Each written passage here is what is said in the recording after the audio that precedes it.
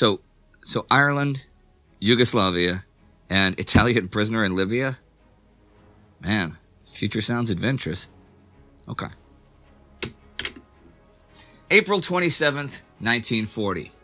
Over two weeks ago, Germany invaded Norway. Last week, the British and French began sending in men to help the Norwegians fight the Germans. And this week, this week comes the Allied order for evacuation.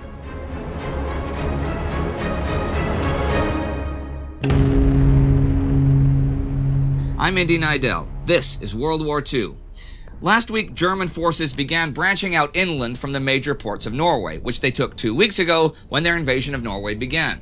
The Allies had begun landing forces to oppose the Germans, but already in the first few days they fared poorly, as their expedition had been hastily cobbled together. And things continue to go well for the Germans this week as well. At the week's beginning on the 21st, Norwegian forces are pushed out of Lillehammer by Germans coming from both sides of Lake Mjøsa.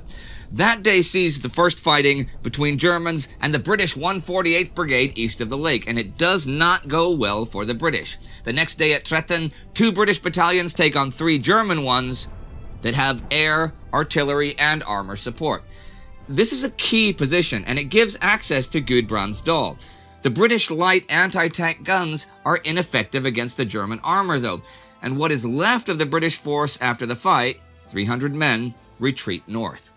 Each day, the first half of the week actually, the 148th are forced to retreat north of Lillehammer by the German advance up the Gudbrandsdal. Now, the night of the 23rd, the 15th Brigade lands at Molde and Andalsnes and heads to relieve them.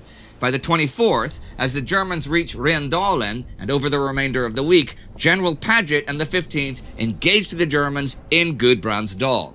His 3,000 men, without vehicles, artillery, armor, and air cover, faced German mechanized troops well equipped with tanks and artillery and with complete control of the air.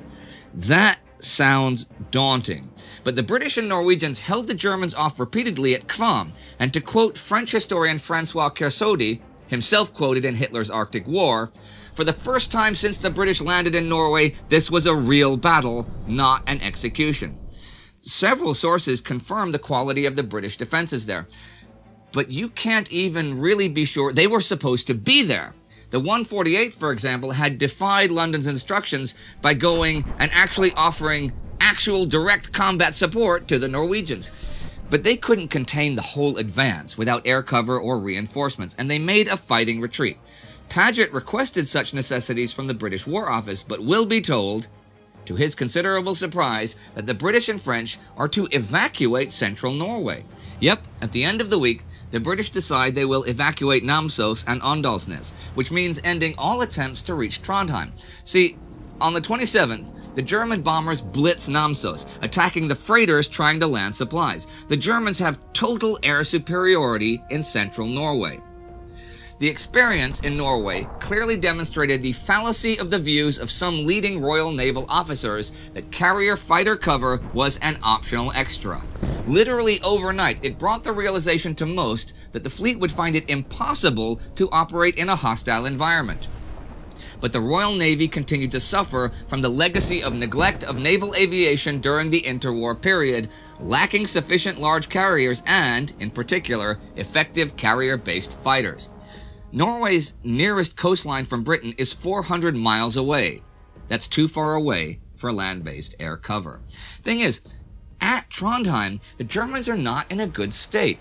They have 4,000 men there thanks to airlifts, but not much artillery or really equipment in general. Still, the British cannot take advantage of this. The Luftwaffe shell Namsos regularly, and British General Carton de Wiart's port is a complete wreck. He's the Anglo-French commander there. But his men cannot make it to Trondheim that easily or quickly since the roads are full of snow. He's even been told, by the aide he'd sent to London for instruction, to do whatever he wants, because High Command does not know what they want done. A side note on Adrian Carton de Wiart here. He is one of the most interesting military figures of any army ever, and you should look him up and read all about him.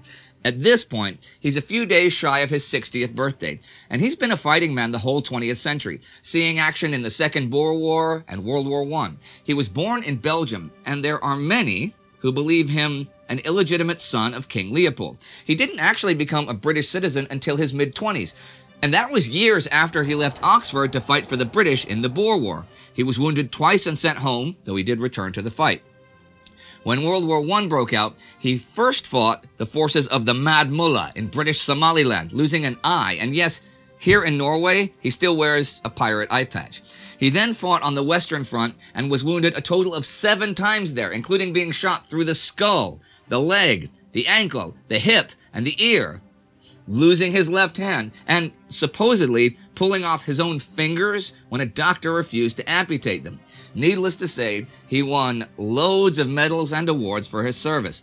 Post war, he led the British mission to Poland, where, yes, he saw more adventure, even action against the Soviet Red Army, and time as a captive in Lithuania. He remained retired in Poland during the interwar years until the summer of 1939, when he took up his post as head of the British mission again, was evacuated to Romania during the invasion of Poland, and escaped from there with a false passport. And he is now in charge of this hastily assembled force tasked with liberating Trondheim but his adventures are still far from over. But they are nearly over in Norway. The Germans take Steinkjer to the north of Trondheim the 22nd. De Wiart orders his men back to Namsos, and the whole British operation in central Norway is a ruin. An attack on Trondheim is no longer possible. So there's no point sitting around Namsos being bombed. The 148th is in worse trouble to the south, since the Germans are threatening to outflank them from Osterdal. French reinforcements do arrive for De Wiart, and finally carrier-based British aircraft are in the skies. Though not that many, they do at least seriously help morale. The French and Norwegians make plans to attack Steinkjer, but De Wiart thinks the whole situation untenable and turns down extra troops because it will only be that many more men to evacuate. The situation is different, though, in the north of Norway. The British have total naval dominance there since they are mostly out of reach of German aircraft, and British aircraft can fly from Bardufoss airfield. British, French, and Polish troops have landed and are well established around Narvik, which the Germans occupy. And the Allies also have the Norwegian 6th Division fighting with them, the only fully mobilized Norwegian division. They are all preparing to retake Narvik and have been making probing attacks for two weeks now. Adolf Hitler is quite worried about the Narvik situation. Remember, the port of Narvik has been Germany's conduit for the iron ore from Gällivare in Sweden that they need for their war effort. The British bombard it to try and get the German garrison to just surrender using the battleship Warspite, a heavy cruiser, and three light cruisers. This is unsuccessful. The guy in charge here is Admiral of the Fleet Lord Cork. Winston Churchill brought him back to active service, but there are issues. He has seniority over the commander of the whole home fleet, Admiral Sir Charles Forbes, but is actively using the fleet's ships. So his seniority poses a problem for other military commanders who are reluctant to insist on actions because of that seniority. Churchill and company have not really clarified how this will all work. It is hard to exaggerate the chaos of the Allies' decision making or the cynicism of their treatments of the hapless Norwegians. The British government made extravagant promises of aid, while knowing that it lacked the means to fulfill them. Meetings in London often degenerate into screaming matches. Commanders do not coordinate with one another. By this time, and even with plenty of boots on the ground, six different plans for overall operations have been thrown out. But the ministers and the High Command know that even if defending Norway is futile militarily, it is necessary politically. The French arrive the 27th in London for another meeting of the Supreme War Council, and they are pretty stunned by British Prime Minister Neville Chamberlain and company's sudden proposal to quit the fight in Norway and evacuate. They are very much opposed to this and return to Paris with French Prime Minister Paul Reynaud thinking he has convinced the British to change their minds. Two hours later, the British give the order to evacuate. Reynaud calls the ministry old men who do not know how to take a risk. If you're wondering, yes, this does produce a lot of animosity and mistrust between the British and French high commands. But if their leadership can be chaotic, that of occupied Norway is becoming more ordered. Last week, an administrative council chaired by Ingolf Christensen took over from Vidkun Quisling's cabinet just days after his coup. This week on the 24th, Joseph Terboven, a Nazi Party official, is appointed Reichskommissar of Norway, giving him effective control. Though he will really only have a supervisory authority, and the administrative council will run the daily affairs of the country. He also does not have authority over the armed forces stationed there. They are still under General Falkenhorst.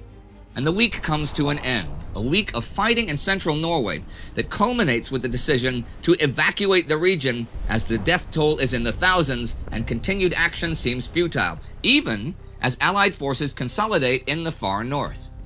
I know this episode paints the British High Command as ineffective or incompetent, but it isn't really all of them, just a few prominent ones who are causing the chaos. And considering they had this Norway thing thrust upon them, it's not entirely fair to blame them for planning and organizational problems that ruin operations. But you can blame them for this. Something I did not mention about the evacuation order from the British powers that be.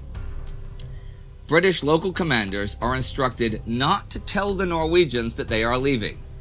They are simply to leave. If you'd like to see more about the situation in other occupied nations, you can check out the April episode of our War Against Humanity series right here. Our Patreon supporter of the week is Modestas Pesiokas. Cool name. His and our other patron support on Patreon is what pretty much entirely finances this series. So if you enjoy what you see, help us out and join our Time Ghost army at timeghost.tv or patreon.com. Don't forget to subscribe. See you next time.